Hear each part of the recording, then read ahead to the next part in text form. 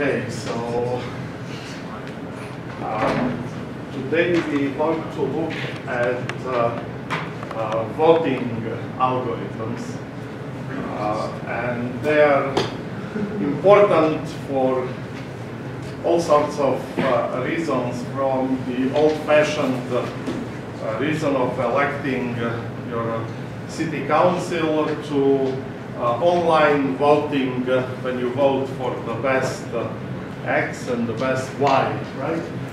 And uh, um, there are many of them, and we want to kind of very briefly look uh, what uh, their features are. Um, so the idea would be to optimally aggregate the uh, opinion of the community, right? When you vote, there is no absolute truth, but it's aggregation of preferences uh, of the community. And uh, um, we will see how this applies especially to uh, online business. So there are several uh, voting schemas around, uh, both in terms of uh, how the preferences are expressed and uh, also how the preferences are aggregated into the final uh, outcome of the voting. And uh, usually the most common one is when voters submit lists, ordered lists of their preferences. So their most preferred candidate is on the first place, on the second place is the second candidate, and uh, then at the very last end place is the least uh, preferred uh, candidate. So once you collect these uh, voting papers, your task is to determine the outcome, right? And there are several ways to do that. Uh, the first one is called majority voting.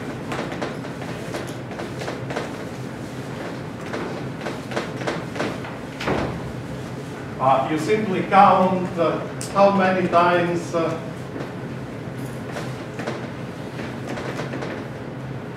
uh, each candidate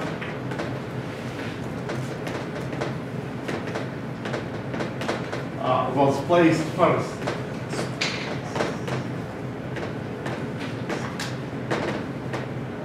And uh, one that uh, is placed first on the largest number of lists uh, is proclaimed the winner, right? So this is why it's called majority. Um, the second uh, way of doing it is called uh, uh, count. And uh, it uh, works as follows. Uh, for every list, or for every uh, voter, uh, the first candidate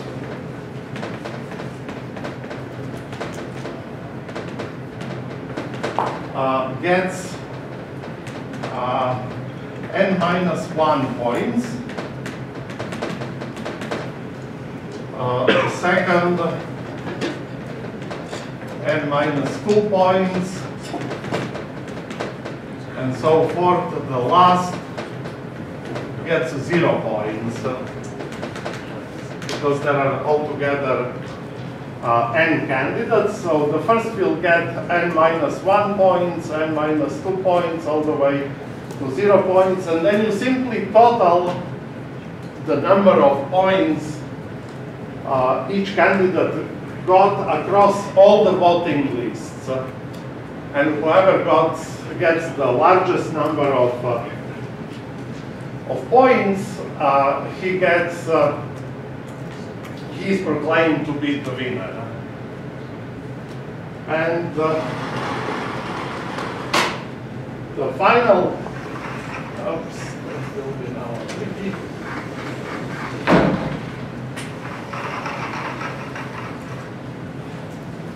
So, um,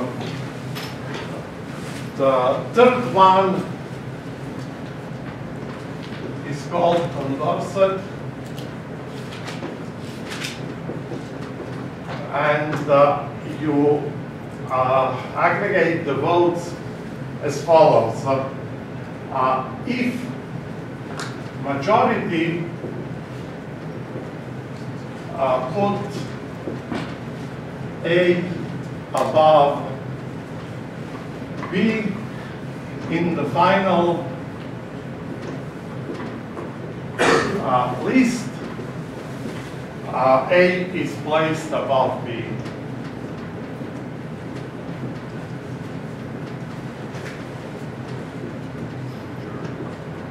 Right? So for each pair, uh, you look whether uh, more people placed A above B or uh, more people placed B above A, and you will put A and B in that order in the final list, right? Uh, so how do these methods compare?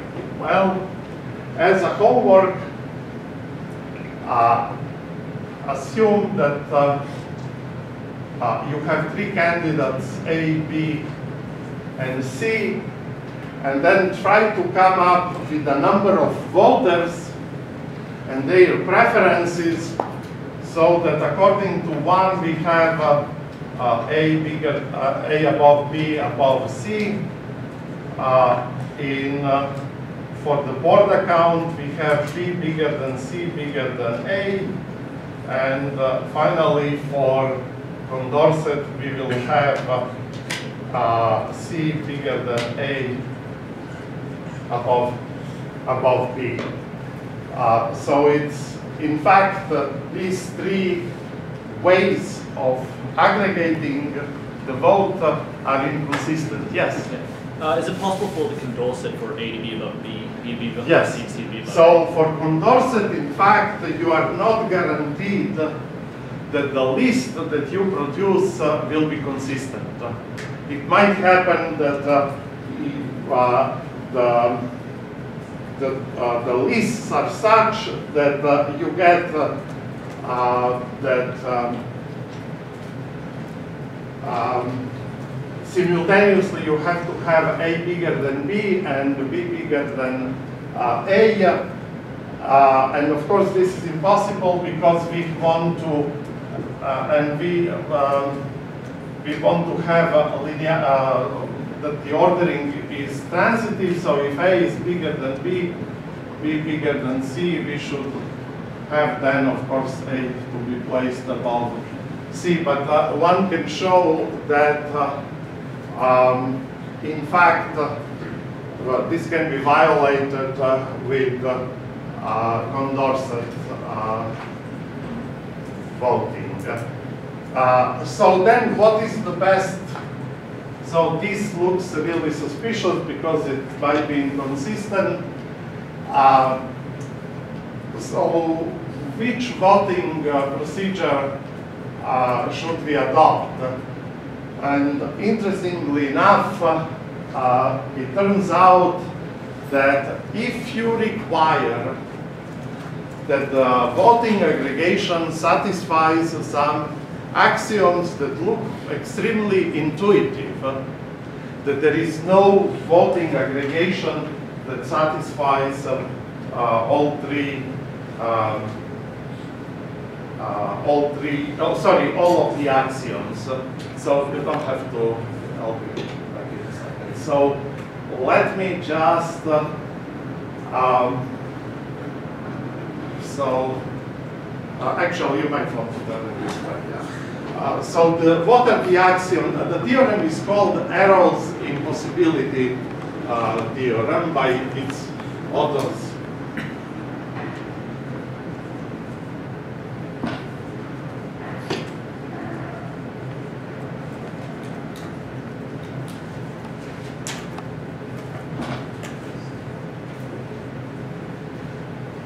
So what are the features that we would like that the voting schema has?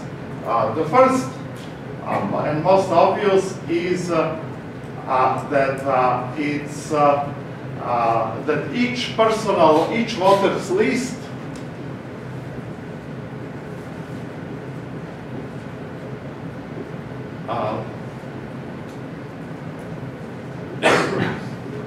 is complete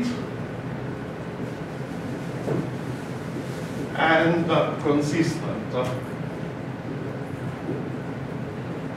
Right, so it is really a linear ordering. Uh, you have first, second, and so forth.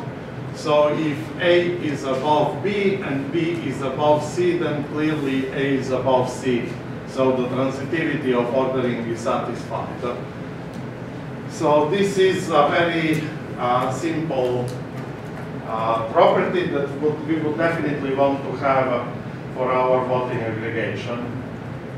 Uh, so the second axiom is that the output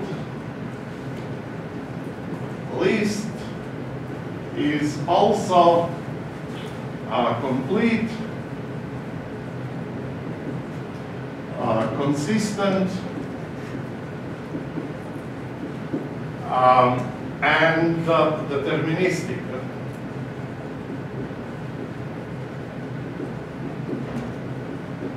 What do we mean by deterministic? Uh, the algorithm shouldn't be randomized in any way. So if you, for the same input lists, uh, the output list should always be the same, right? Should not change.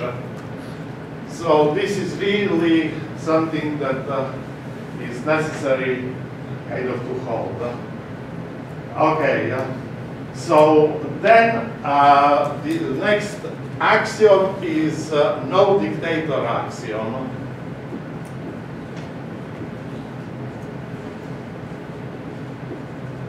Uh, which says uh, if uh, everyone, if, if uh, each, if every voter uh, except perhaps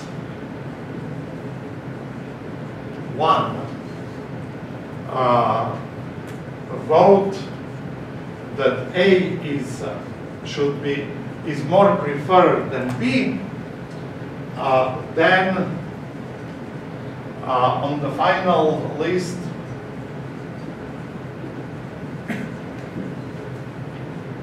A should be above uh, B. Why is this called uh, no dictator?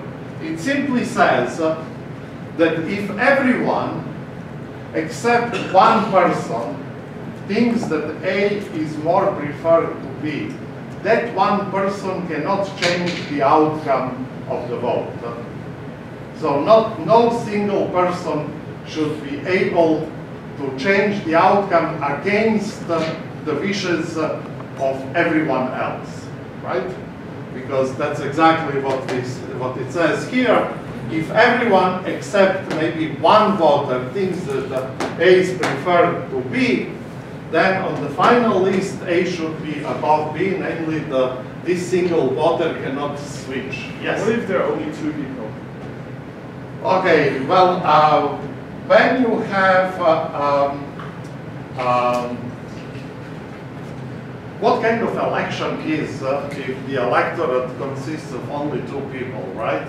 Then we should look for other ways uh, of making decisions. So uh, that's, uh, we assume here that the number of voters is bigger or equal than three, and the number of candidates uh, bigger or equal than two. But yes, you are right. Uh, this requires uh, that we have uh, uh, at least three uh, three. So, okay, so. Um, okay, the second, the last axiom the fourth axiom is uh, usually called the uh, irrelevance axiom that says the following. Uh, if uh, A and uh, B are any two waters, um, and uh, on the final list, uh, A is placed above B, uh, then no matter uh, how, uh, no matter how you change the ordering of other candidates,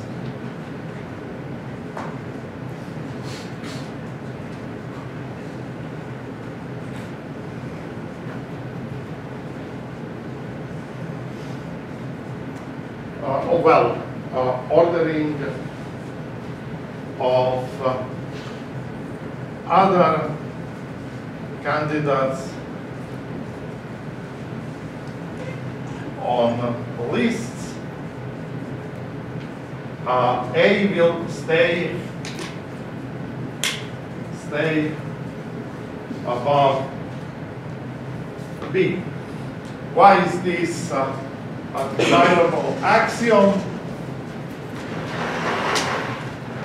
It simply says that whether you think that A is better than B should be independent of what you think about other people. Right? So if you have any lists, right, and you are now allowed to change the ordering, so the voters change their mind about their votes, but they keep the same preferences for A and B. So you are not allowed to swap A and B anywhere.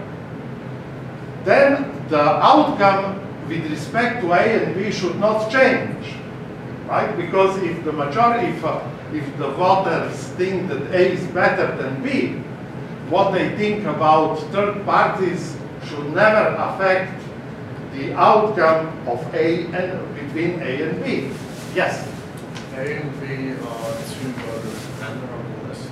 Sorry, say it again. Uh, it says like A and B are any two voters and on the final list A, A is greater than B. Yes, A so- and B are two voters Yes. on the list. Uh, So A and B are two voters, uh, and some voters, uh, sorry, uh, A and B are two candidates. uh, Yeah. Rather than the Yes, orders. voters. Oh, sure.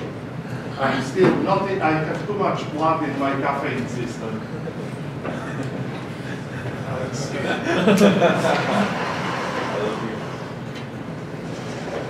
Let's see. If, uh, ah. Okay, thank you very much, at least you are not asleep. And we are two candidates.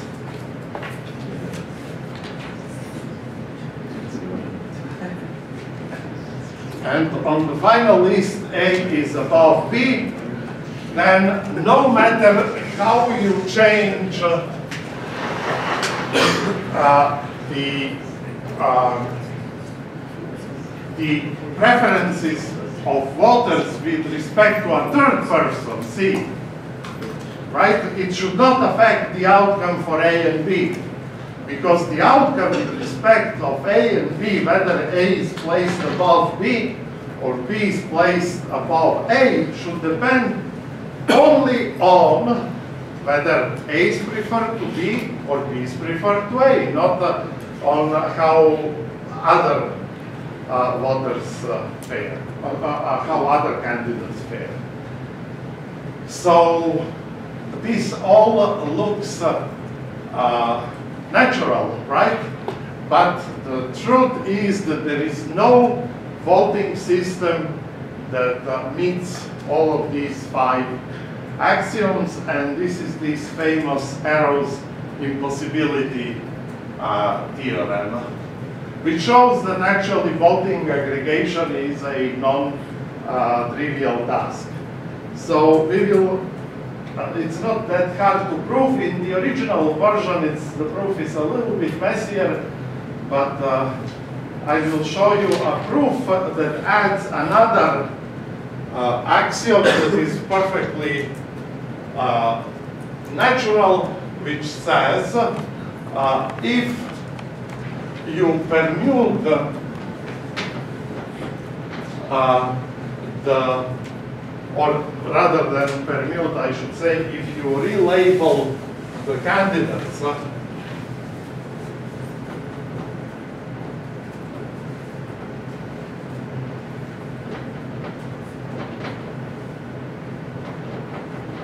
uh, if you relabel the candidates, uh, the output list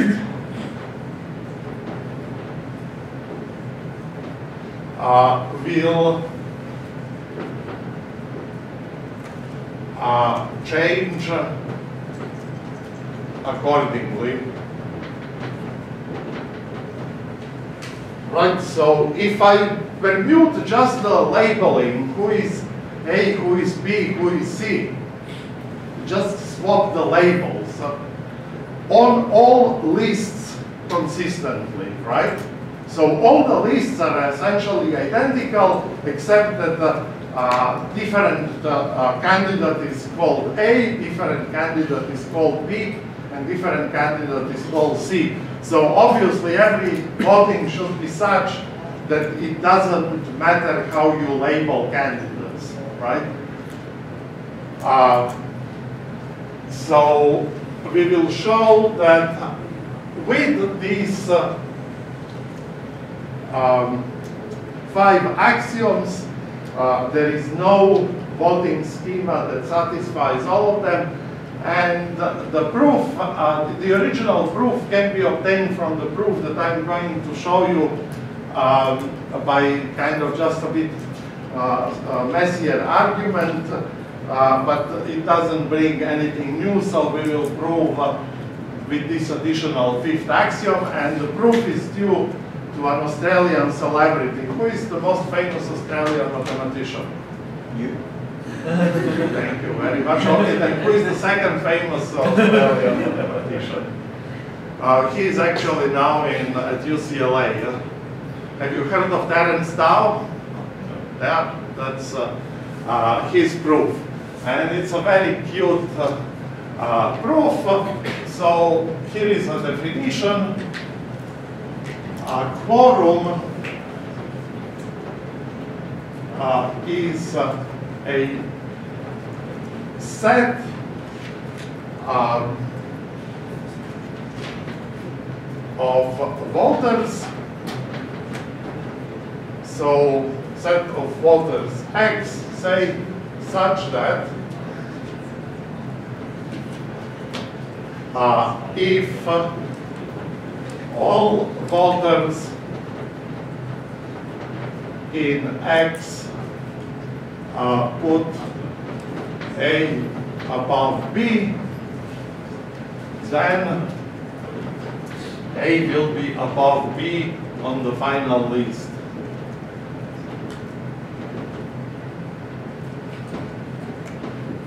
right? So X is a set that is powerful enough to decide ordering of any two voters. If people on X think that A is better than B, in the final list, A must be better than B. Can you give me an example of a quorum that follows from the axioms? Which sets are guaranteed to be quorums? So one trivial quorum is which one? If everyone votes A is bigger than B, A is better than B, A should be put better than B, but there are more. Uh, what are the other sets that are also quorums? Here's the main one. Exactly. So every set, so note, every set uh, uh, with n minus 1 elements is a quorum. Uh, this is by uh, uh, axiom 3. So n is uh, the total number of voters. Right? Because that's precisely what axiom 3 says. If a set consists of everyone but maybe one person, uh, this person cannot change the outcome of election. If everyone but one person thinks A is better than B, A has to come above B in the final list. So this, yes, not four? sorry? Not four?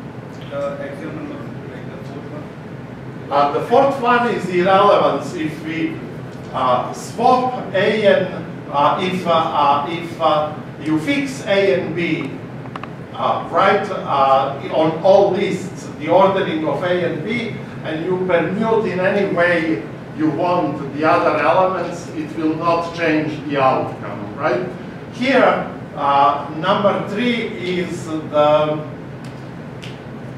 uh, uh, the axiom that we are using at the moment, right? Because axiom 3 says if everyone but one voter thinks A is better than B, the, uh, then of course A has to be better than B on the outcome. So, so this is the first observation. The second observation in which we will use the axiom that you are mentioning is uh, if uh, um, uh, sets x and y are quorums,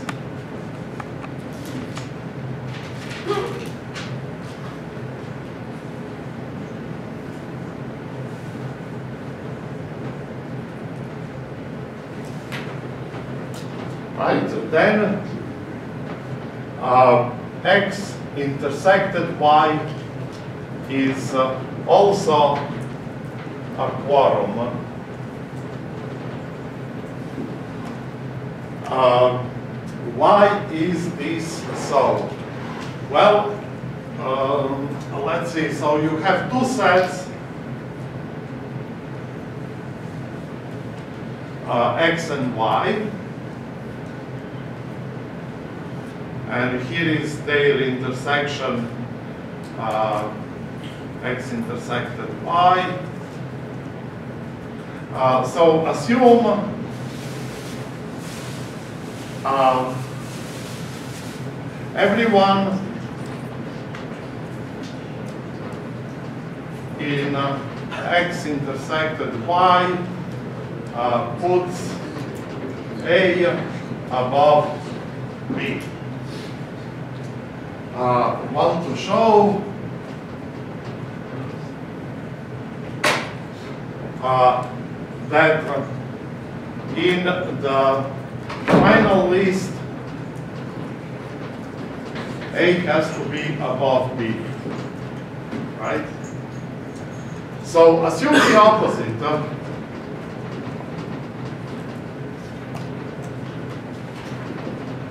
that uh, B at the end is put above A, yeah? Right? Uh,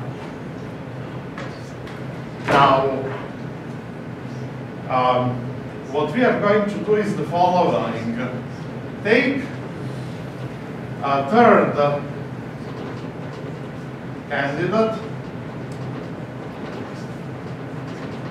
and in fact, this, uh, uh, I forgot to add, uh, this, uh, uh, the number of candidates uh, is bigger or equal than 3 for the theorem to work. Uh, so take a third candidate C uh, and uh,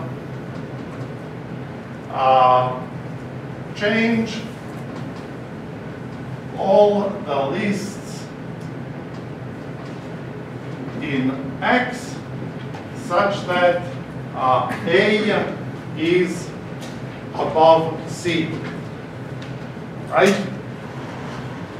Now, this uh, you can do uh, without changing the final outcome that B is placed above A, because by this irrelevance axiom, if uh, you don't change the ordering between A and B, then no matter what you think about other candidates, the ordering of A and B should not change, right?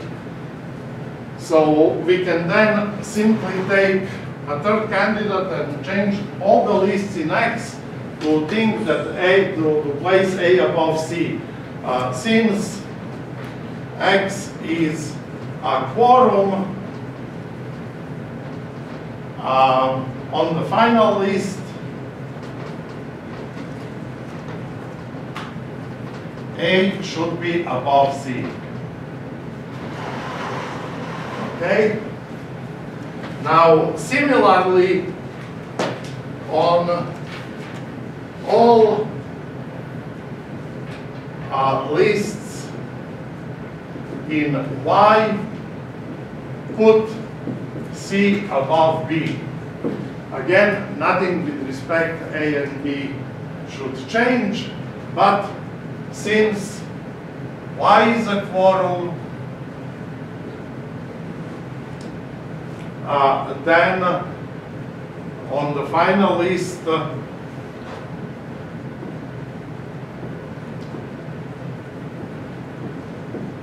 uh, we should have that C is bigger than B. So on the final list, uh,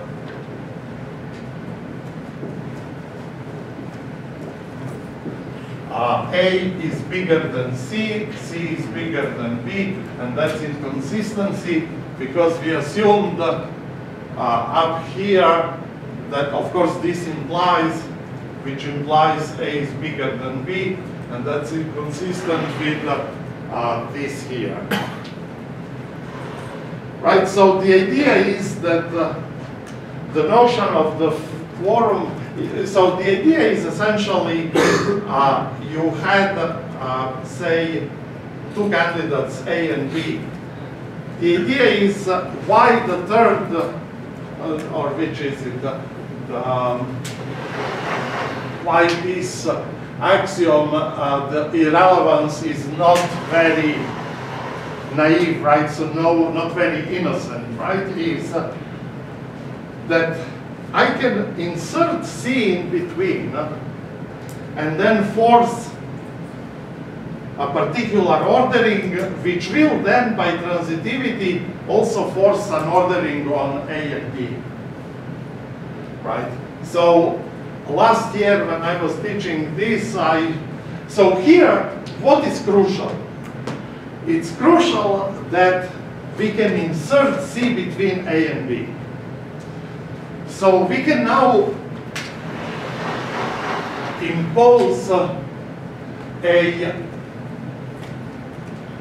uh, Vicker axiom here, which doesn't, so this axiom says, uh, if you keep ordering of A and B the same, no matter what you do with other people, on the outcome, H and B should also stay the same, right? We can ask for something stronger, thus weakening the axiom. Namely, we can ask not only that the ordering between A and B doesn't change, but also that the number of intermediate candidates between A and B should not change. So in a sense, uh, if you liked A better than B, uh, so, uh, but almost uh, just uh, because A is just immediately above B, or you are not allowed to insert people in between, right? And so clearly, Tao's argument would break down because here everything is based on inserting C between A and uh, B. And I asked if uh, the impossibility theorem actually still holds, uh, but it turns out uh, Ishrak and Ray uh, uh, proved that, in fact if you weaken the axiom by requiring so the irrelevance uh, how the change the ordering or the candidate on the list A will stay above B but uh, uh, in- besides this you add and the number of candidates between A and B does not change.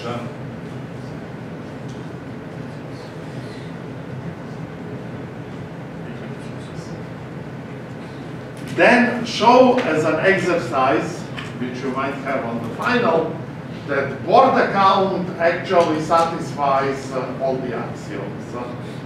So uh, in Arrow's uh, uh, impossibility theorem, this irrelevance is crucial uh, for the theorem to hold true because once you weaken this axiom by strengthening the assumption, what is the assumption? In the original axiom, it only requires that you don't change the ordering of A and B on any of the lists. You should be free to change ordering of all other candidates. The output in terms of whether A is above B should not change.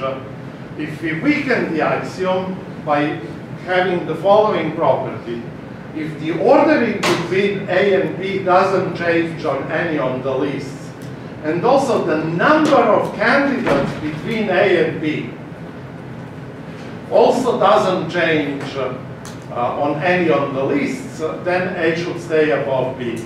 Well, it turns out impossibility no longer holds, uh, and uh, uh, account actually satisfies uh, uh, this uh, set of axioms. So it looks like Borda count is uh, a, uh, probably among these three the, the best one. But now we move to any questions about uh, this? Okay, this is a good kind of logic exercise. So, and I will update the lecture notes uh,